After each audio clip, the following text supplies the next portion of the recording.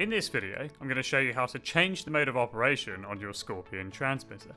So the transmitter comes supplied in FM mode. To change this mode of operation to a different operating mode, let's say LoRa mode 1, you need to first select menu 1. To change the operating mode, you always must first select menu 1. So to do this, you use your set push button located here.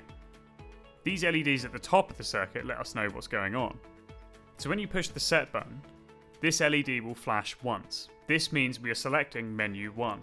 Wait for this LED to flash again, and now we're in menu 1. So now, push your set button again the required number of times, in this case twice for LoRa mode 1. The LED flashes twice, we let the transmitter drop out of configuration mode, as demonstrated here. The transmitter is now operating in LoRa mode 1, as opposed to FM mode. Say I wish to operate in LoRa mode 2, we repeat the steps. Push the set button once, then wait. We're now are in menu 1.